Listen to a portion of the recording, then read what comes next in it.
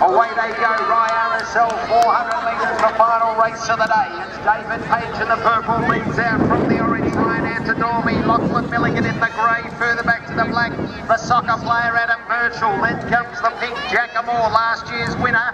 The green there, Sam Samatucci with the yellow, Mitchell Palmer on their backs is Shane. Izard, poised to pounce, back to Hamish Robertson in the white, and Hoskins in the red will leave his run late, he's got to finish hard going to the top bend now. At the grey, Lachlan Milligan, the youngsters push to the lead.